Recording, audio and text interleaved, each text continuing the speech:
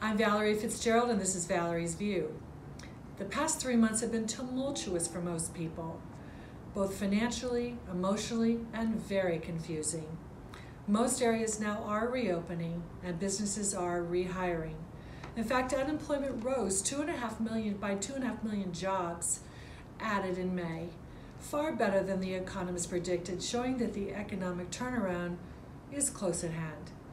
In fact, mortgage demand from homebuyers actually rose 19% in May, which shows that buyers are getting are rushing back into the markets and are getting excited about the home buying process now.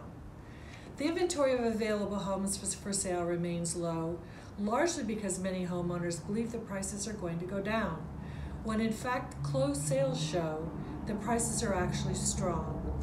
Economists talk a lot about the current V-shaped economy, which means that the events of the last three months create a sharp downturn.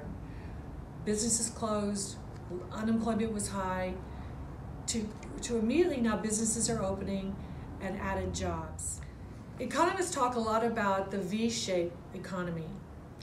That means that the V-shape was extremely steep and strong when businesses closed and, and a lot of unemployment, it was very high. Now we're experiencing the other side of it, which is a sharp rise and businesses are opening and jobs are being added.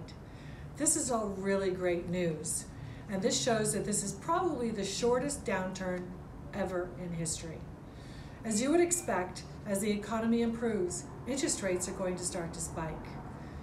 So we at the Valerie Fitzgerald Group, year to date, we've done over $75 million in sales.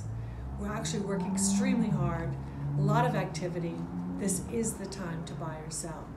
Give us a call. Thank you.